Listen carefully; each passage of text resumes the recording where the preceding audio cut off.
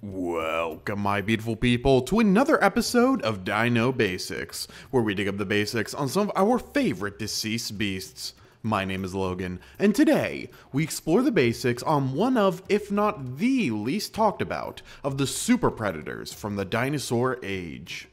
Plenty of enormous carnivores like Tyrannosaurus rex, Spinosaurus, and Giganotosaurus have received plenty of attention in film, television, and scientific discussion. But while this carnivore rivals even those tyrants in size, it unfortunately has not received the same fanfare. It's the South American tyrant, Tyrannotitan. For you history nuts out there, I'm sorry to say that the history of Tyrannotitan is not that complex or lengthy, so we can get through this pretty quick. The first remains recovered for this dinosaur are actually quite recent, first being recovered in 2005 by a team of Argentine paleontologists. These remains would be recovered at the La Juanita farm within the Chubut province of the modern day country of Argentina. These first remains would consist of what is believed to be two individuals, and more specifically included an assortment of teeth, a number of vertebrae, ribs, and an assortment of leg bones, among others. These two fairly lackluster fossils are a large reason for why this predator is often overlooked. While paleontologists could determine this was certainly an enormous predator, that is often as far as scientific study can go. Extensive reports or papers, when trying to draw conclusions, are stuck basing their information on either these two individuals, which have a number of significant gaps even when combined, or must draw comparisons to other large theropods and fellow family members, both of which obviously are not one to one by any stretch of the imagination. So a lot of what we will discuss later in the video, despite a reasonable amount of scientific evidence, can still be somewhat dubious. Not exactly something many documentaries would be fiending to include. In terms of the name Tyrannotitan, this largely stems from Greek origins, including the words tyranno, meaning tyrant, and titan, referring to ancient giants from Greek mythology, emphasis on the giant part, having the name to be broadly read as tyrant giant. The sole species of this carnivore, Chubutensis, references its region of origin, that being the Argentine province of Chubut. Speaking of this name, the tyrant part, not the Argentina part, that's pretty cut and dry, you would be forgiven for assuming this predator would belong to the notorious family of carnivorous theropods, the Tyrannosauridae. Tyrannosaurids were a group of powerful hunters that first appeared in the early Cretaceous, around 130 million years ago, across much of what is now Europe and Asia eventually expanding into what is now North America, and growing to become some of the largest and most terrifying hunters to ever reign. Yet, despite reaching a similar size and carrying a similar name to the family's namesake, Tyrannosaurus rex, it is believed Tyrannotitan had no such relation. Anatomically, it lacks many defining skeletal traits like cranial proportioning and foot construction, among others but one of the most obvious reasons is largely due to geography.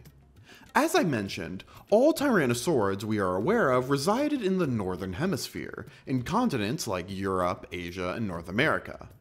At this point, South America was not connected to North America by Central America, and wouldn't be until around 3 million years ago.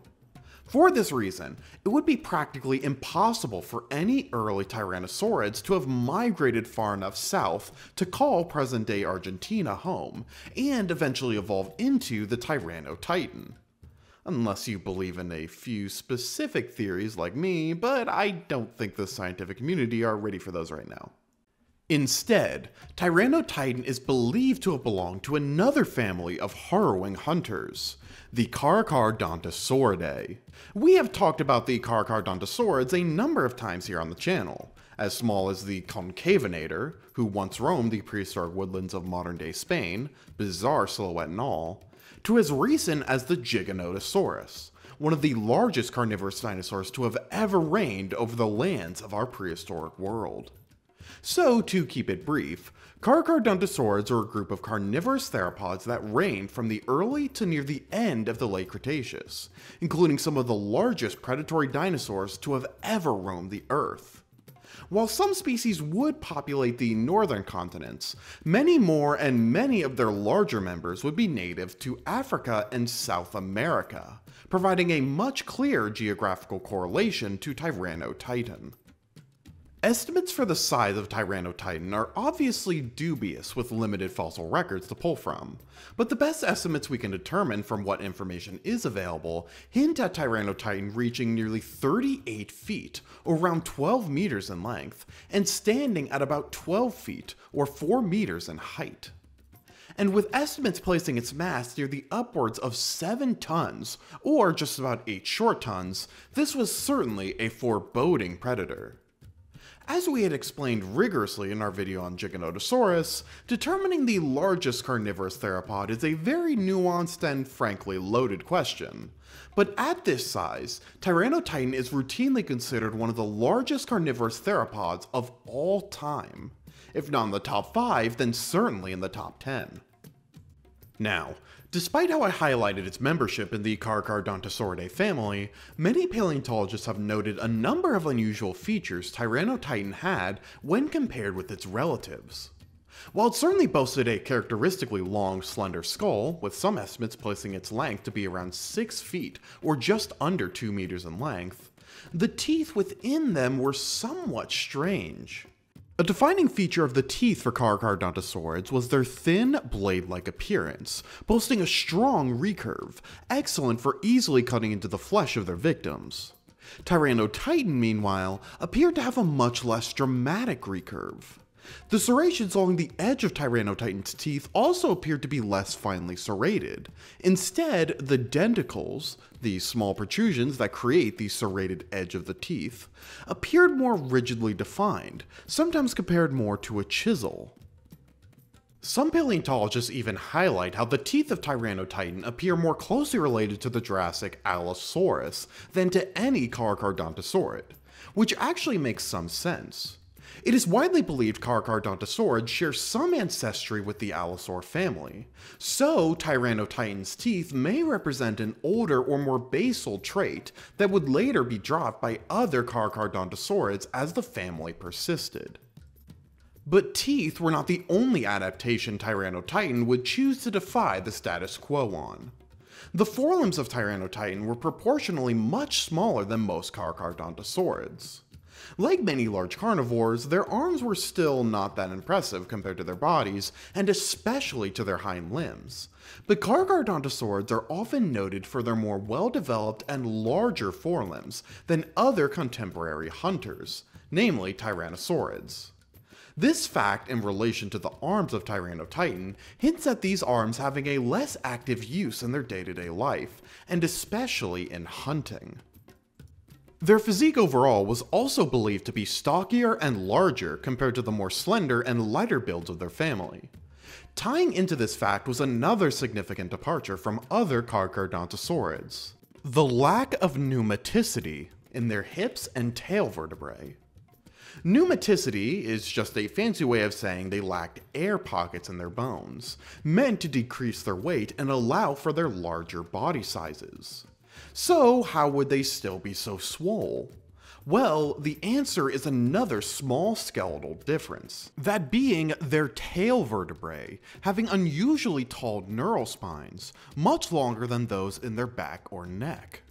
These extended spines hint at Tyrannotitan being able to sport a greater number of muscle attachments in their tail than many other large carnivores, and thus provide greater strength in this area.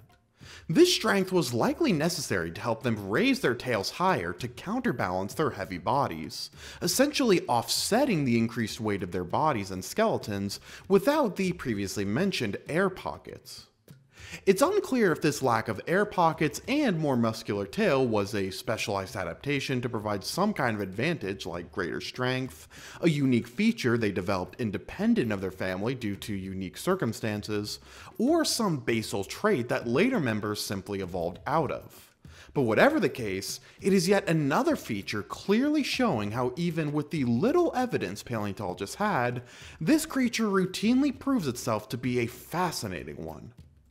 Tyrannotitan is believed to have lived sometime in the early Cretaceous, between 113 to 100 million years ago.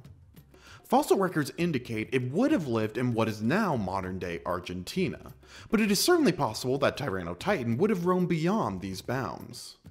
Evidence from the region shows Argentina during this time would be a rich and diverse one, populated with river systems, expansive floodplains, and lush forests, although it is likely semi-arid regions would still dot the landscape. Identified species from the same time and region as Tyrannotitan are fairly scarce, largely limited to non-described large herbivores and small carnivorous theropod remains. However, some named creatures have slipped through the cracks, namely the Patagotitan.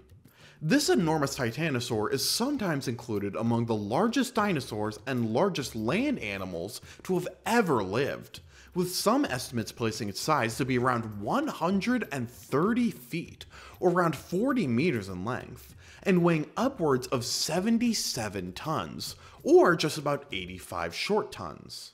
Another named, although nowhere near as impressive, dinosaur would be the Genyodectes. While, yes, it is named, very little has been recovered for this carnivore aside from a frontal jaw fragment, but it is believed to have been related to the horned Ceratosaurus, although again, information and details are very scarce. Tyrannotitan was believed to have reigned as the apex predator of its environment, with few, if any, large predators to threaten them. It is unlikely even a Tyrannotitan could take on a fully grown titanosaur like Patagotitan, but weakened or young individuals are certainly fair game. How this creature hunted has long been debated. Their teeth and skull structure hint at Tyrannotitan likely favoring a hunting style similar to other Carcharodontosaurids like Giganotosaurus where tearing flesh from their victims was favored over crushing their bones and windpipes, as their jaws seemed to favor surface area and pulling over grip and raw power. Fossilized trackways from other Carcharodontosaurids have also hinted that Tyrannotitan may have engaged in pack hunting, likely a necessity when hunting prey as large as a titanosaur, although again, this is still speculative. Tyrannotitan is an uh, interesting case in terms of pop culture attention. While its incredible size and obvious ferocity make it a seemingly perfect candidate to become a media darling, that isn't really the case for Tyrannotitan.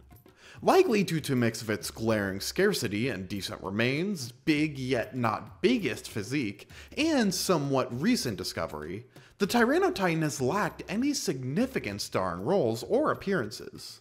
The few roles Tyrannotitan has managed to land include a few toys, specifically in the Jurassic World toy line, video game appearances like 2015's Jurassic World The Game, and probably its largest role as a fairly recent addition to the 2020 game Path of Titans.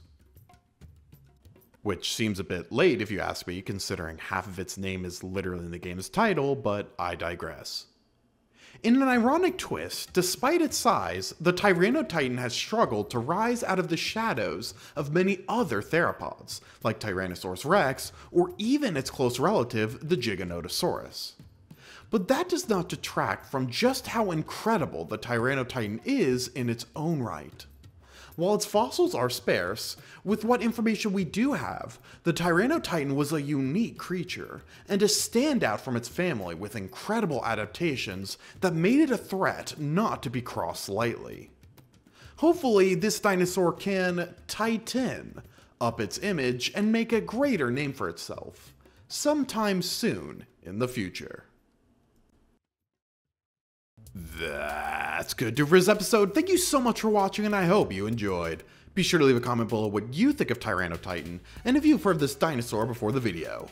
I probably should have had a bit more space in between this and Giganotosaurus, but hey, consider it a double header for really big heads, with Machikosaurus just there for moral support. We are off next week, but the following week, we take a deep dive into the history of the closest dinosaurs ever came to retaking the planet and explore the legacy of the terror birds. Thank you for your support, and see you in the next video.